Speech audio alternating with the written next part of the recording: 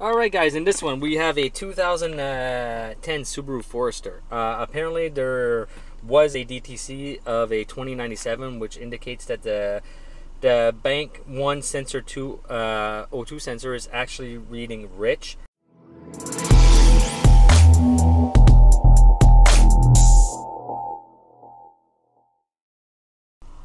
The reason that I decided to do this video is because I don't actually have a video out there yet onto uh, wideband O2 sensors. So um, I thought I'd take this time and show you guys uh, how to take and go about maybe verifying if a wideband O2 sensor might be faulty. All right. Now I don't think that we're going to catch the issue. At the same time, we might if we poke around a little bit uh, further. Okay. Um, so what I'm going to do first is just quickly explain how a narrowband sensor works. All right, a narrowband sensor works on the basis of a 400 millivolt uh, bias voltage. All right, that 400 millivolt bias voltage is going to end up being your stoichiometric. So let's think about 14.7 to 1 being 450 uh, millivolts. All right, anything above that number on a narrowband is going to end up being rich, and anything below that number is going to be lean. Now, the way that the sensor works on to with narrowbands is that it's looking for a switch. So up, down, rich, lean, rich, lean. And it's trying to get it to stay at that stoichiometric as best as possible. Now, wide bands work a little bit differently, all right? Where uh, we're looking at narrow bands using a uh, voltage that's going to be going up, down, up, down, between 0 to 1 volts. A wide band uses what is called lambda, which is a lambda of 1, which is stoichiometric, and it's going to be using uh, milliamps in order to determine if the system is rich or lean. Now, if we go off the basis of a narrow band where rich is going to end up being uh, high voltage and lean is going to end up being low voltage. When you're looking at a wide band, you got to look at it opposite. All right, so just take it and flip it around. Okay, so anything that has a small or lower than zero millivolts, okay, so negative millivolts, uh, you're looking at a rich condition. Anything that you look at with a high higher than zero millivolt uh, milliamps, sorry, not millivolts, anything higher than uh, zero milliamps, we are looking more at a rich uh, lean condition going on. So you just gotta take it. and You just gotta invert those numbers. So anything with a lambda that is uh, lower than one is going to end up being a uh, rich mixture and anything with a lambda higher than one is going to end up being a lean mixture. So the milliamps and the lambda numbers kind of follow each other. And what we're looking for is a lambda of one all right? And the milliamps if we're at zero or close to zero that's perfect. That means that we're stoichiometric. So uh, when we're looking at scan data I'll come in here real quick. We'll go get some uh, scan data for everybody Uh, not trouble codes, I wanted live data. Sorry about that.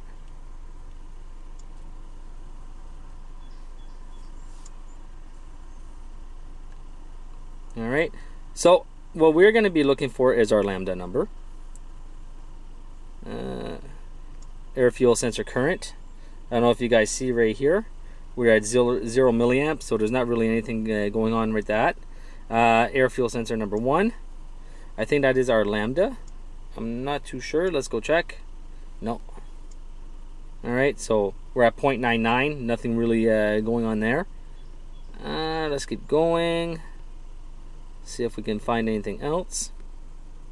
If not, we might go into a generic uh, mode just to see if we can get something else in here. Rear O2 signal rich on.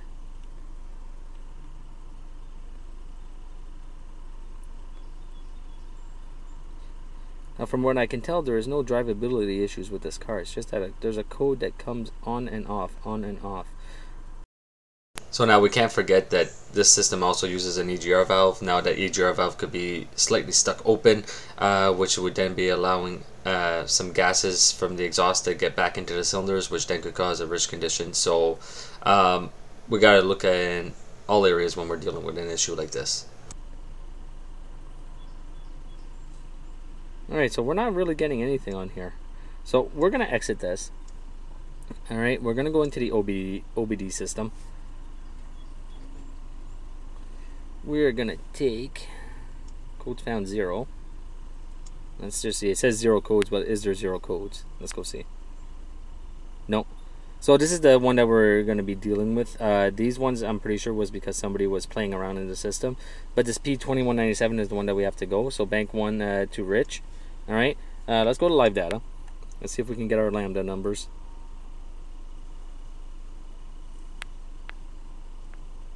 I can show you guys what that looks like on screen the reason I'm making this video is because there are still some uh, technicians out there, not everybody, but there are still some technicians that have a hard time with the oxygen sensors and using them for their diagno diagnostics. So um, I thought I'd just make this video real quick for it. All right. So bank one, bank one. As you can see, our fuel trims are pretty much at zero. So I don't really think that we're going to have anything wrong there. Um, if you guys can't see that, I'll bring them up on screen in a minute. Okay.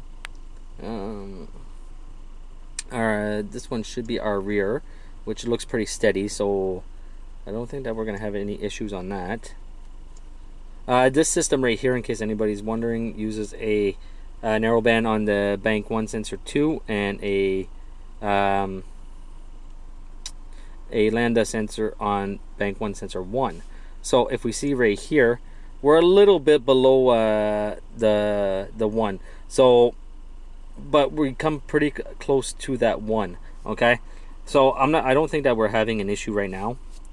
All right, and we'll use this one also, just to show you guys the voltages. All right, so as we see right here, our fuel trim, okay, is pretty much at zero. Our short term and long term uh, calculated together, we have is pretty much zero. Our oxygen sensor is at the uh, rear O2 is at 0.72. Nothing really wrong there. All right. We see our uh, lambda sensor, okay, which is sticking pretty close to that one. All right, so I don't think that we're having an issue there. When I give a gas, we should see this number right here. Should drop, and also our lambda number should also drop.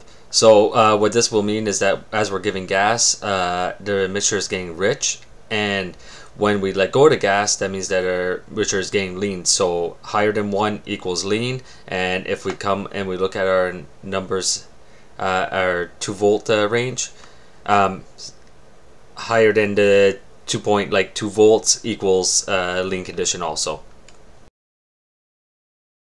All right, so I'm gonna give it some gas. Alright, so as we could see right here and right here, um, this is where I actually pressed on the gas pedal and as we can tell we had a momentary drop in our uh, in our voltage and also onto our uh, lambda sensor. Now what that indicates is that the mixture is going rich, right? And the sharp rise is when I actually let go of the pedal and that means that the system went into its fuel cut and now I'm getting a lean condition. If we look up at our bank 2 sensor 1, uh, bank 1 sensor 2, sorry, we see that we have a slight rise when I pressed onto the gas pedal, indicating that the system went rich. And then when I let go, we have a large drop, which means that the system went lean, which is uh, indicating our fuel cut uh, scenario. As you can see right there. And then we come back to our uh, R1,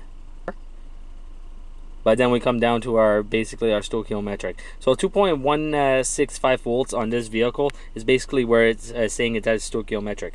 Now if we look here, we're a little bit on the rich side, then we go to the lean. So, but there's not much variation. We're still sticking pretty close to that one. So right now there is no issue on this car.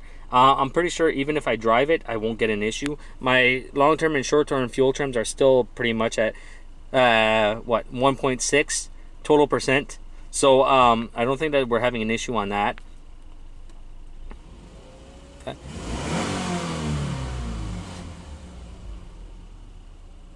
Like I said, I don't think that we're having an issue right now. So um, what we're gonna do is just do a with that little test right there with me pressing on the gas that's basically me enriching the, the mixture so what we're gonna do right now is that we're gonna go out to the front of the vehicle with the scanner leave my phone all right uh, we're gonna just pull uh, a vacuum line for the intake and we're gonna see if we can uh, get this guy to uh, go lean on us. All right? I'm pretty sure we will. I'm trying to get this with the least amount of glare as possible. I don't know how well this is gonna work. I'm just gonna put in pull an intake hose real quick and we're gonna take a look at it what happens.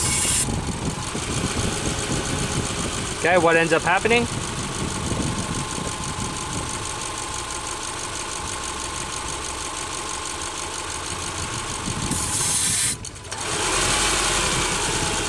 All you see our rear O2 went lean and then our front O2 went rich as the system tried to richen up the mixture. All right, so for me, this system is actually working properly right now. I don't believe that there is an issue. Um, so, and if we look at our long-term and short-term fuel trims, when I pull the, the line, all right, we see everything climb onto my short-term because we want to try add fuel because we're sensing more oxygen. All right, then eventually my long-term is going to come into play. Like I said, I don't think that I'm having an issue right now, but I might still have a bad EGR valve. So what I think I'm going to do real quick is just uh, pull the EGR valve on this vehicle because it is pretty easy to get to. And uh, we're going to take and we are going to um, verify the pintle on the inside and see maybe if it's sticking. All right, so we see it right here. It's just this one little connector and we're gonna pull the EGR valve off and see what happens from there. If it comes off easily. If it doesn't, it might just stay there. All right, so give me a minute and I'll be right back.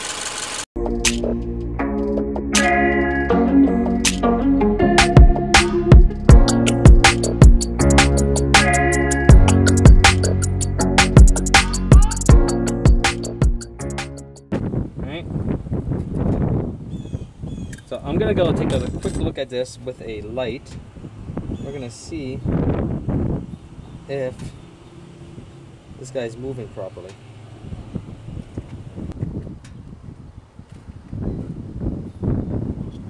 Alright, so from what I could see, my valve was actually stuck open just a little bit. Um, now it seems to be seated properly. Uh, so what I'm gonna do is that I'm just gonna take and lube up the, the shaft on the inside a little bit. Uh, we're gonna I'm gonna make it work a little bit. I'm gonna try to clean off the carbon that's uh, stuck around it, and we're gonna retake a look at our numbers after I'm done. All right, so everything is back in. Everything is plugged up. Um, down to the, the ratchet. Uh, I'm gonna take and start this guy up, and we're gonna take a look at my numbers again. All right, I'll bring you guys inside for that. Don't no need to be out at the vehicle, outside the vehicle anymore. Ah, try to give you guys a view of this. All right, so what are we going to be looking at?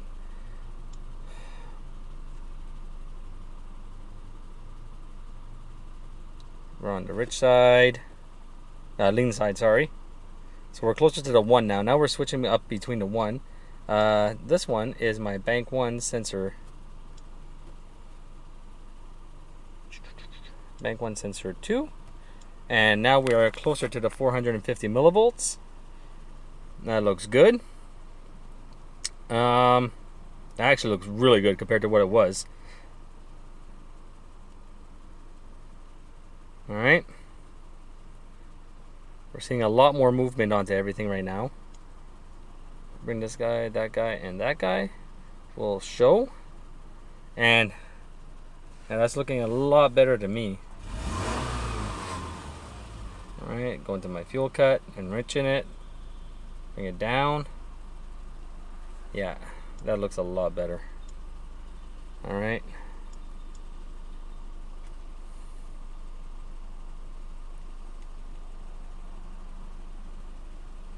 Stays a little bit high, but not overly.